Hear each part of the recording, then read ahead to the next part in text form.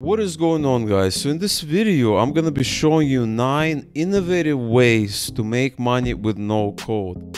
Now there may be some methods that you may have heard about before but definitely there are gonna be some techniques that you probably have not heard about before. And make sure you stay until the end of the video because I'm gonna be telling you what my personal favorite methods are for making money with no code. And these are going to be probably the methods that you may want to start with. Now before we begin if you like no code you want to learn how to build code without getting into technical details without becoming a programmer without learning computer science make sure you smash a like on this video leave a comment below letting me know anything comment question doesn't really matter and do not forget to subscribe to the channel and click the notification bell. Having gotten that out of the way let's get started.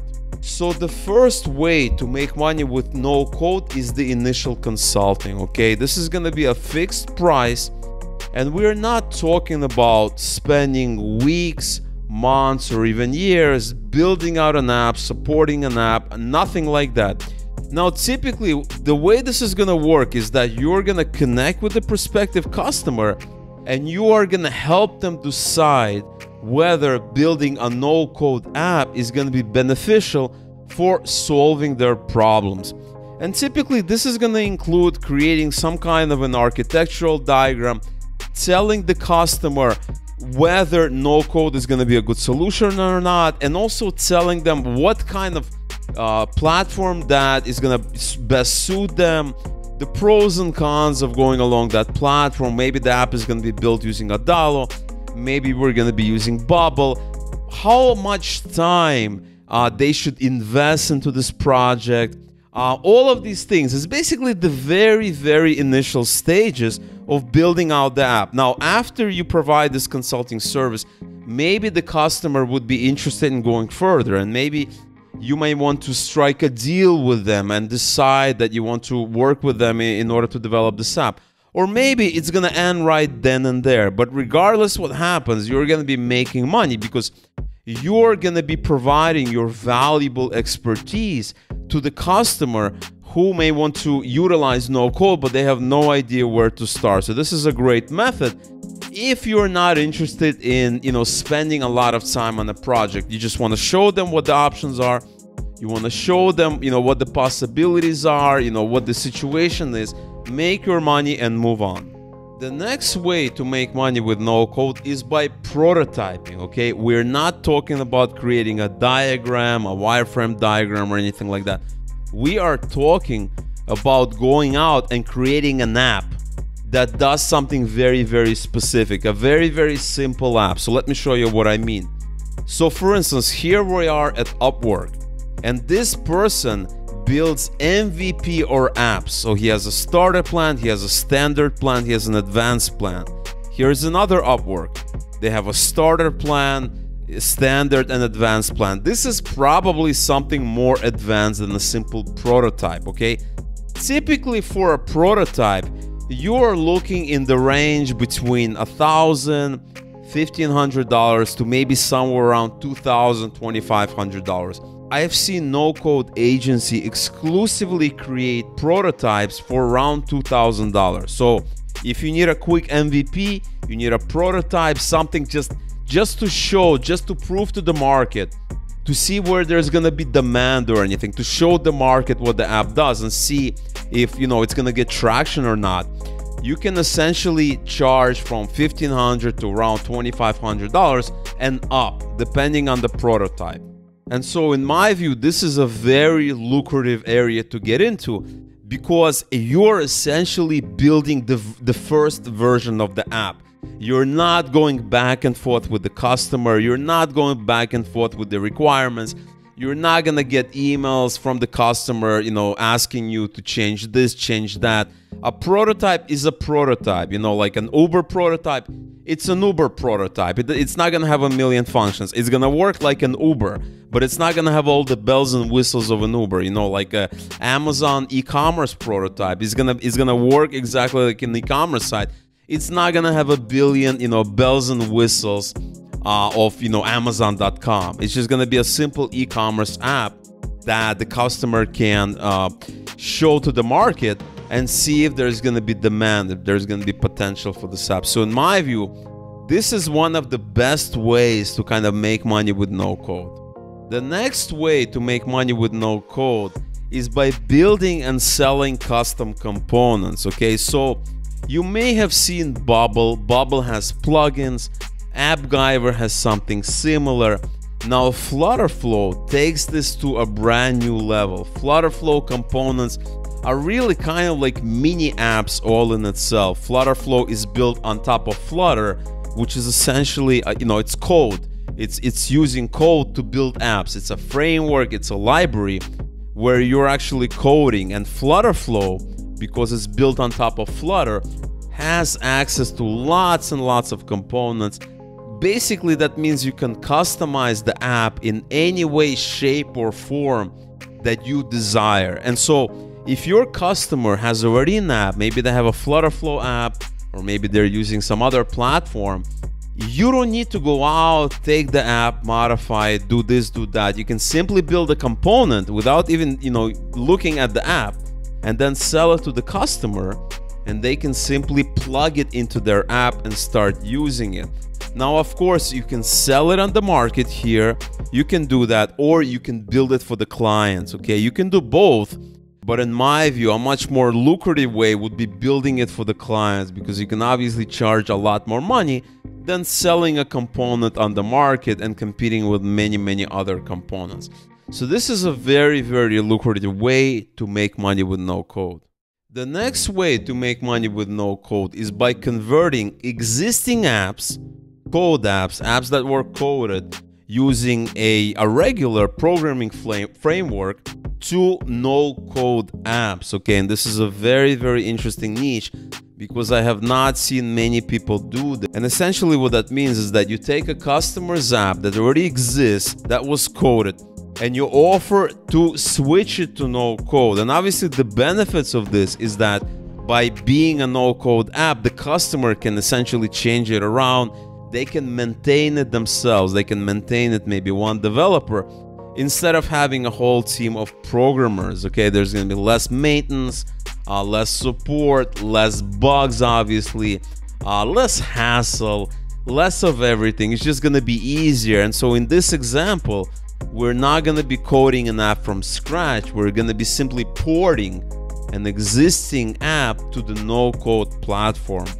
And this is great when a customer does not need a new app, when the customer already has an app, but the customer is tired of all of these maintenance headaches, of all of these things that go into maintaining a software project, a software product, essentially bugs, maintenance, upgrades, all of this stuff. When you port it to a no code platform, all of those headaches go away.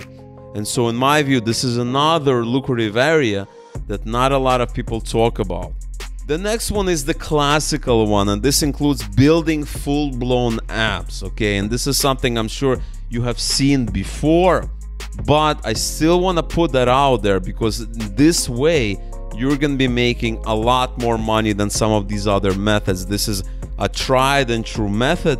Now I have put 5k as the initial number there that you know you're going to be charging for the app. Now this obviously depends on the kind of app you're going to be building. Is it going to be just a mere prototype? Is it going to be something more serious? Is it going to be using a database? Is it going to be making API calls? What kind of functionality is it going to have? The more features, the more you'll be able to charge for the app. But typically, this is where you're going to be making the bulk of your money. So check this out. Here we have the same Upwork page and they have the start at the standard and the advanced. So what I'm talking about is I'm talking about in the advanced range. Now this guy is charging on the low end. Here's another Upwork profile here and he is charging a lot more, 16,000, 28,000, 40,000. And this obviously is not going to be a simple prototype. This is not going to be a simple app. This is not going to be a component or anything like that. This is going to be a full-blown app. And as you can see, he's making decent money. He has 74 reviews. He's a top rated plus person and he's you know he's probably making enough money to feed himself so this is another something to think about sometimes going back to the basics is the way to go Now, last but not least, in this specific category, the next way you can make money with no code is by offering technical support. Okay.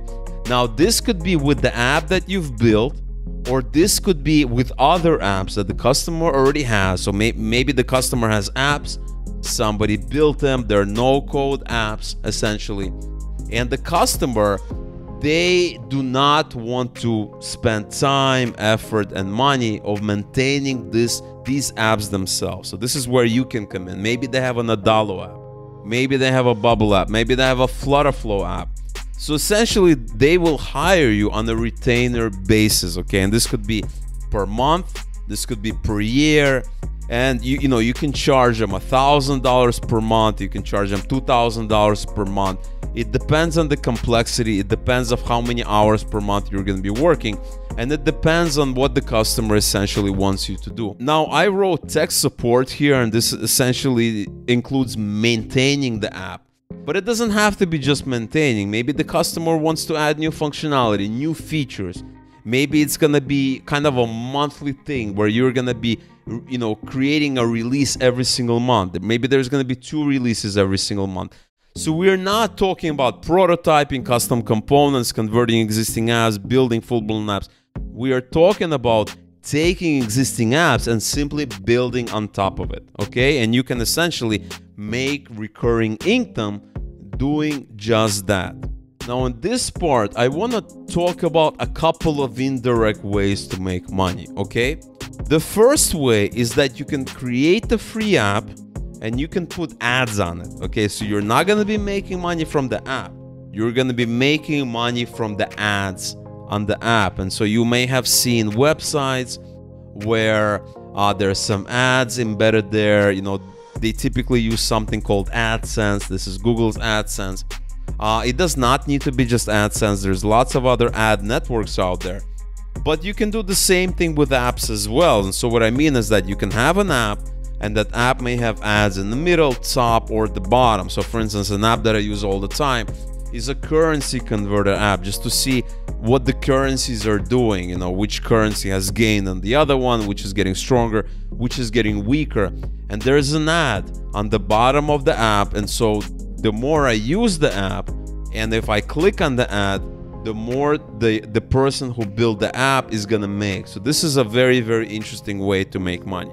Last but not least, this is probably one of the most interesting ways of making money, okay?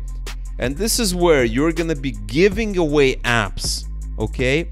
And you're gonna be charging for enhancement and customizations. And the important thing is that you're not gonna be building apps to give away. You're essentially gonna be taking sample apps, maybe from Glide, from Flutterflow, from Adalo, from some of these other platforms, giving them to a prospective customer and see and then charging for various enhancement. And so you might have seen, for example, in Flutterflow, when you create a new project, you're given a ton of different templates that you can use. And so you can essentially take some of these templates, you can customize for your own need, and you can give it to a prospective customer and say, here, this is a free app. You can use it, you can do whatever you want with it. But if you want me to customize it for you, I can do it for you, okay? And the same situation is when it comes to Adalo, another popular no-code platform. If, if you try to create a new app, you're given essentially a, a bunch of templates that you can use. So like there's coaching, chat, directory, ordering, appointments, and to-do list. And so you can take one of these apps, you can create it, you can kind of lightly customize it share it with your prospective customer that's in the same niche and say, well, this is a free app for me, it's on me. But if you want me to customize it, you want me to build some features, some enhancements, stuff like that, then I will charge for that. That's gonna be extra.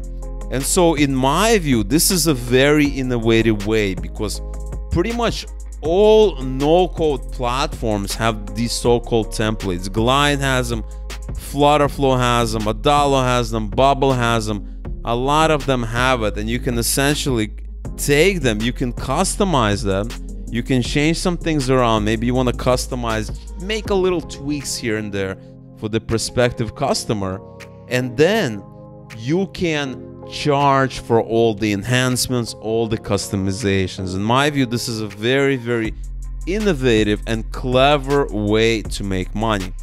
Now, I told you at the beginning of the video that if you watch until the end, I will tell you the methods that I like the best. And so I'm gonna do that right now.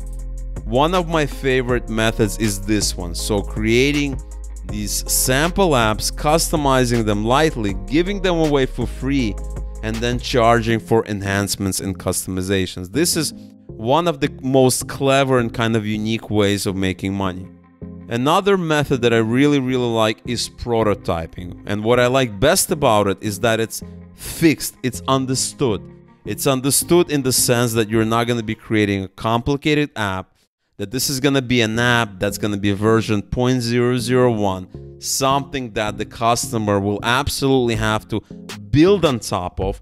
And, and your job at that point is done. Now, if the customer wants you to do more, you're gonna be able to charge more. But at that point of the game, you're pretty much done. And you can easily charge a fixed rate for this without doing comparatively lots of work.